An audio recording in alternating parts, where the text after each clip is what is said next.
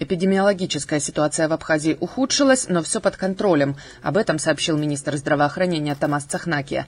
Среди курсантов военных вузов к уже известным семи случаям добавились еще три подтвержденных диагноза. Все студенты проходят лечение в Гудаутской больнице. По последним данным, 10 э, человек инфицированных э, находятся на стационарном лечении в Гудаутской центральной районной больнице, которая у нас реорганизована в клинику для ковидных больных. Э, в связи с этим э, мы констатировали, что эпидемиологическая обстановка в республике ухудшилась, так как э, достаточно короткие сроки были диагностированы вот 10 инфицированных пациентов. Министр здравоохранения опроверг слухи о некачественном питании и отсутствии лекарственных средств, но подтвердил факты нарушения дисциплины курсантами, которые находятся в Айтаре. Главный санитарный врач Людмила Скорик рассказала о количестве контактов, которые успели провести курсанты с подтвержденным уже COVID-19. Ввиду того, что в Айтаре у нас возникли очаги э, по выявленным больным, естественно, там у нас еще образовались контактные. Контактных по второму корпусу 64 человека, по первому корпусу 13 человек. Это в подтверждение тех разго... того доклада министра здравоохранения о том, что люди, вроде это военнослужащие, будущие военнослужащие, не соблюдали самоизоляцию. Естественно, теперь у них период 14-дневного карантина будет продлен от последнего госпитализированного больного. Премьер-министр Александр Анкваб поручил принять жесткие меры по восстановлению дисциплины в Айтаре и пресечению любых контактов между самоизолированными. Мы стараемся сохранить людей, а в ответ э, факты просто элементарной недисциплинированности. И в связи с этим замечание Министерства обороны. Пожалуйста, примите это. Поговорите с родителями, поговорите с курсантами – мы их посылали в вузы, мы за них отвечаем, но и на них лежит ответственность. Курсантам высших военных таких серьезных учебных заведений, куда конкурс был большой, если мне не изменяет память, верно? Во все года. Надо дорожить своим статусом.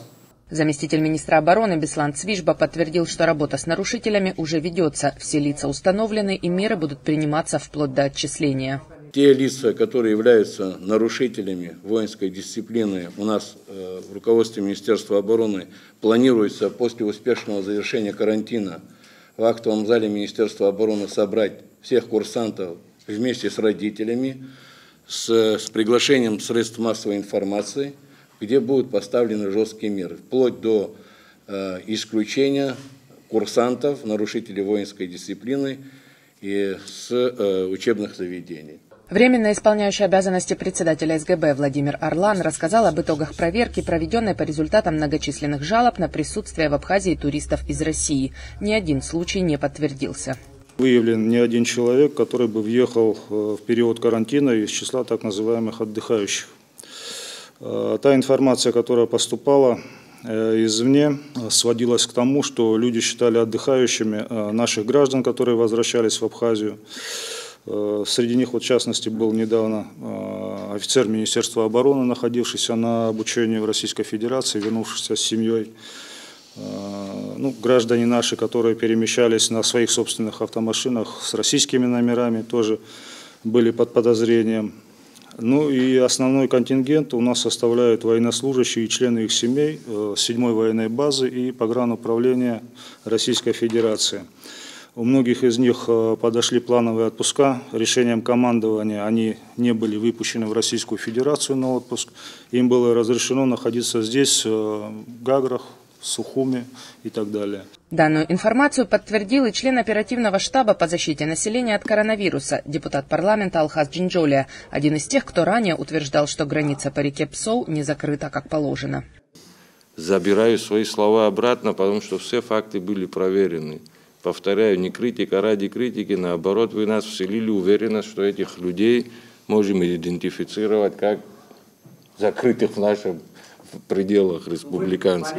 Министр просвещения Адгур Кокоба сообщил, что для всех школьников с 1 по 10 класс учебный год можно считать оконченным. Экзамены будут сдавать только выпускники. Школ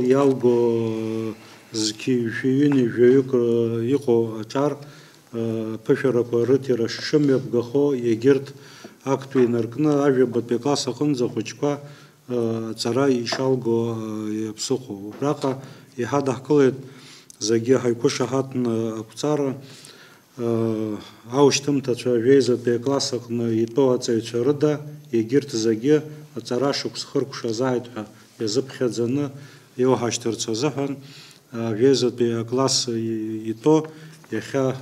кылу акцара инакуршаны убре карантина нанчалак аущтымта пешера комбе пгано теснат корытаны аштырцыз. Такое же решение принято по высшим учебным заведениям, где экзамены и защита дипломных будут организованы с соблюдением рекомендаций СЭС. Проведение выпускных экзаменов э, и защита дипломных и квалификационных работ. Э, в том числе рассматривается вопрос, чтобы сессионные экзамены не проводить, а отметки выставить по текущим, по текущим оценкам. О ситуации в своих ведомствах отчитались практически все участники заседания, после чего началось обсуждение проекта о продлении карантинных мер. Многие высказались за ослабление режима, и ряд уступок был утвержден.